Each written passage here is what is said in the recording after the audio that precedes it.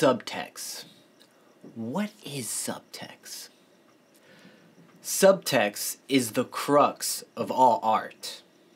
It is simply the hidden meaning of things, the unspoken meaning behind the things you do as an artist.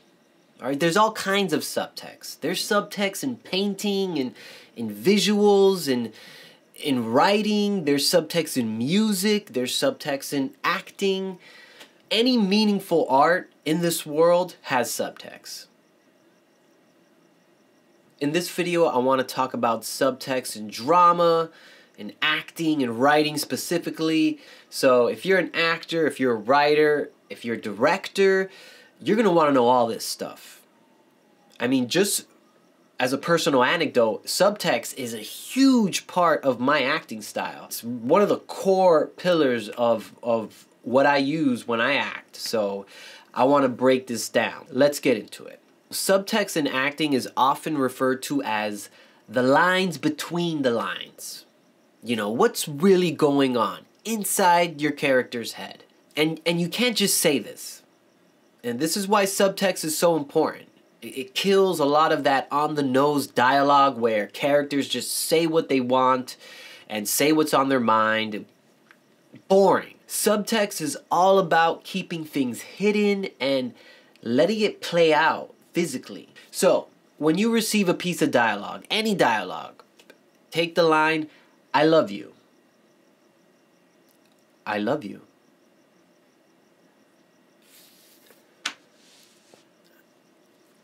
I love you. I love you. I love you. I love you. I love you. I love you. That's subtext. Alright, see what I did? Those were all different tones there. They all mean different things. I took that one line and, you know, I made up some stuff in my head, but depending on the scenario, that one line can mean whatever you want it to mean. As an actor, subtext is going to depend on a couple things. Who your character is, his personality, what's the situation he's in, what's at stake, what are his goals in the scene, the the themes of the movie, what's the message the writer's trying to get across. But the point is the subtext is the true meaning of the line. I want you to think of subtext almost as like your strategy going into the scene. What are you going to do here? What are you going to do here? What are you going to do here? The way we do this is by using action verbs. So take your dialogue and somewhere in the margin somewhere, I want you to write for all your lines to blank. To blank to persuade, to demand, to threat, to reveal, to lie. And this is going to be your tactics going into the scene. I'm going to, to persuade, and then I'm going to demand, then I'm going to walk away. Whatever the case is, find action verbs for all your lines.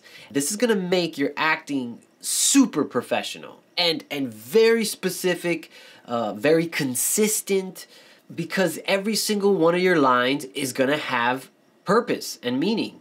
Remember, when you're a character in a scene, there's always obstacles, there's always things you're trying to get, and this is what you're gonna use as your way to get them. This is how you're gonna overcome your obstacles by persuading this person, by bribing this person, by uh, threatening them. And the, the, they have to be action verbs, okay? They can't, you, you can't just be to feel happy or to feel something. No, to dismiss, to appease, uh, to belittle. Eh, they have to be action verbs, okay? This is a lot of work.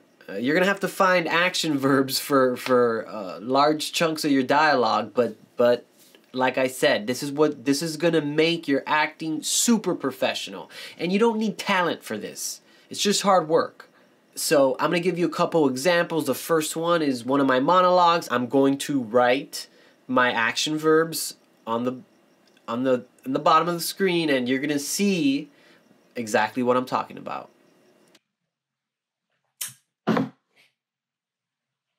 You know, the truth is, I didn't want any of this.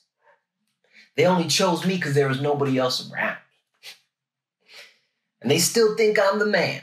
I'm the man that's going to keep them safe. They still think I know what I'm doing, but I don't.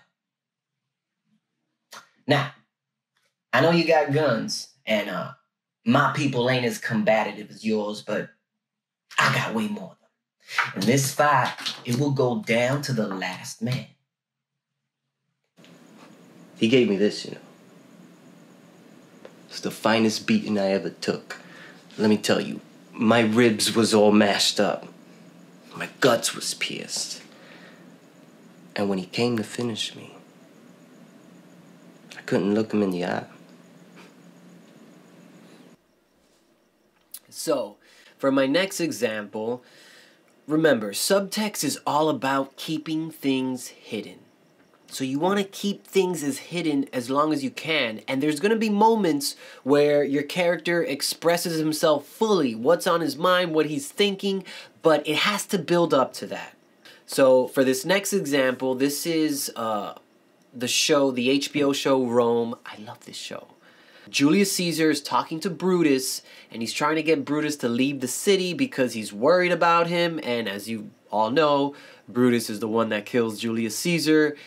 So check out this scene, and you're gonna see Julius Caesar's subtext, and as things don't work, he starts to change his tactics, change his subtext, and then he expresses himself fully. And you're gonna see this this build up that I'm talking about.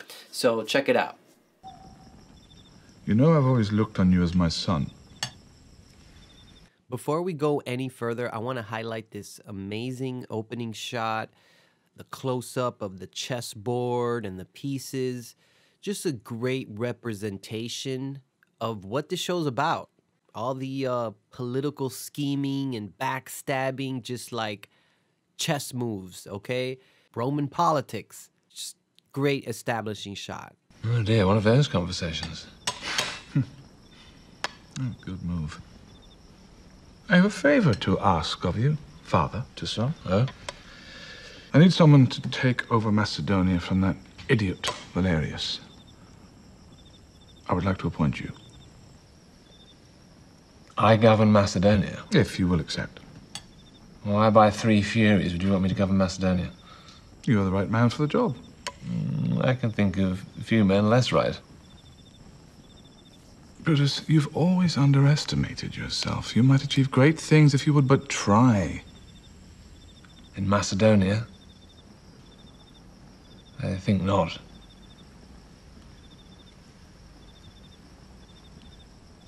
I would ask you to reconsider. I need someone I can trust.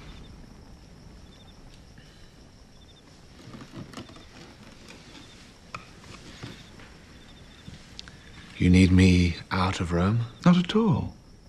I need your help. Someone you can trust. Am I wrong to do so? You have doubts, do you? I did not say that. speak plain, I beg you. Have I given you reason for doubt? Since you ask, you have, as you well know.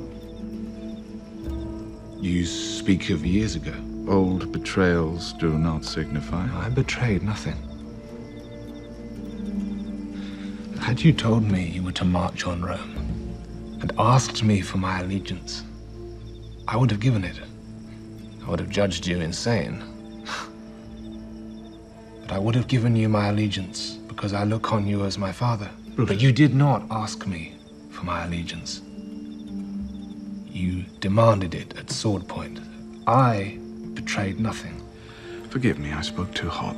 You have never betrayed me. So why do you not trust me now? I trust you completely.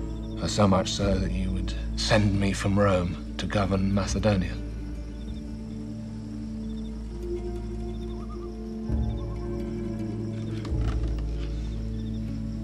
Well, Thank you. I am honored. But I will not go.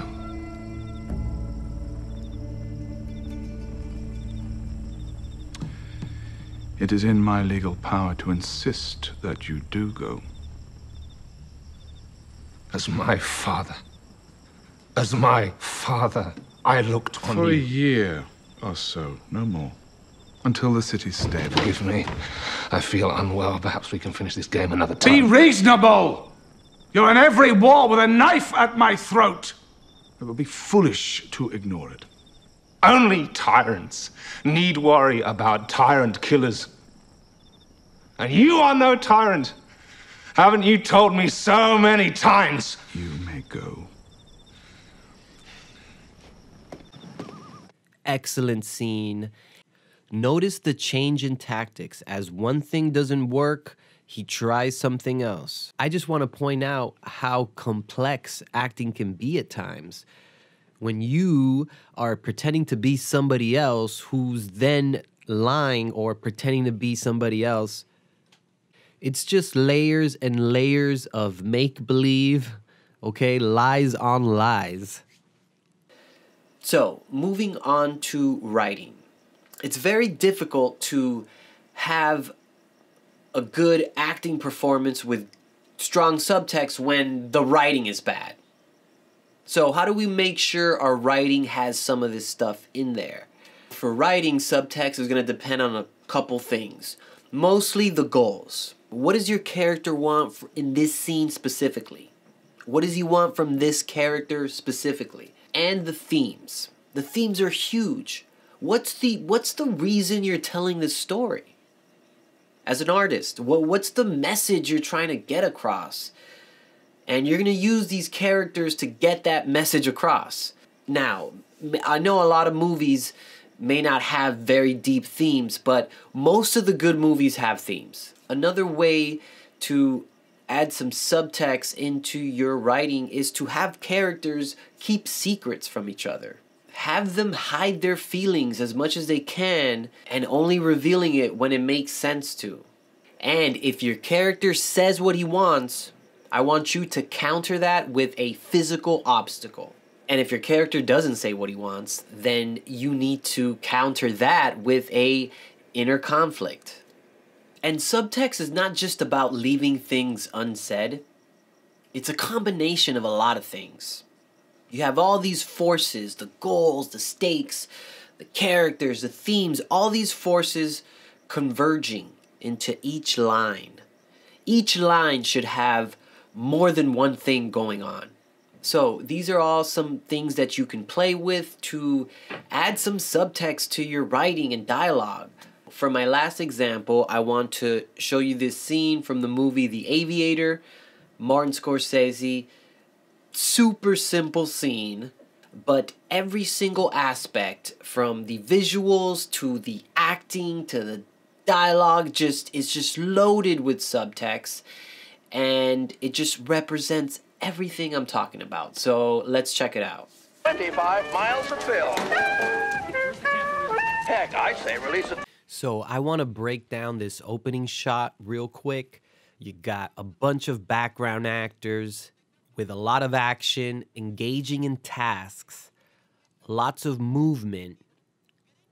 You have a full 360 degree pan, so it, the camera is spinning. You got some sound bites of old jazz music and radio gossip about Howard Hughes and how bad this movie's doing. All this just adds so much more weight and context to the scene. It sets the tone and it really delivers a lot of information. Okay, all this is accomplished in a couple of seconds without any dialogue. Show, don't tell, people. Now give the world its first 560 hour movie. Pat, Mr. Hughes needs this reel in the projection room right now. Enough is enough, Mr. Hughes. Are you ever going to let us actually see this little epic of yours? Hurry up.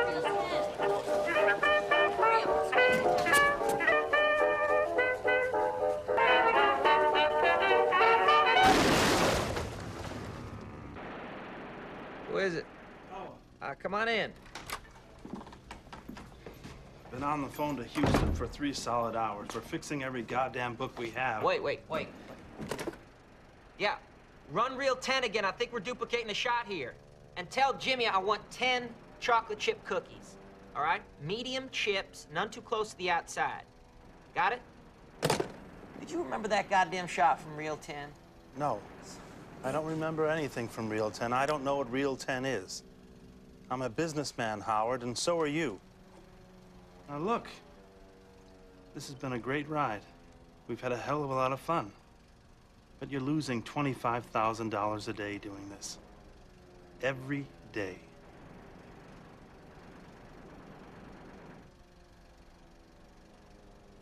So? What are my options? Well, this time I don't know that you have any. I'm afraid you gotta close it down. Dig your way out.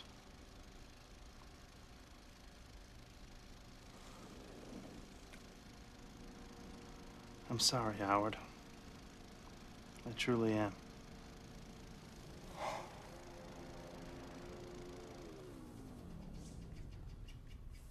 Here, right in the scene's most tense moment, we got the reel operator changing out the reel and the shutting off and back on just adds so much more punch. Reel 10, Mr. Hughes.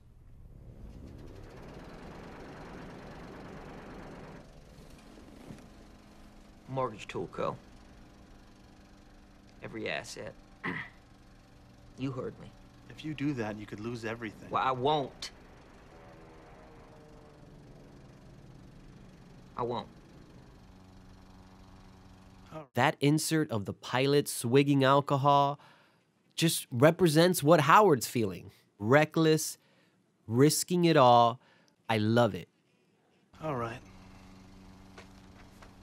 I'll get into it. Thanks, no.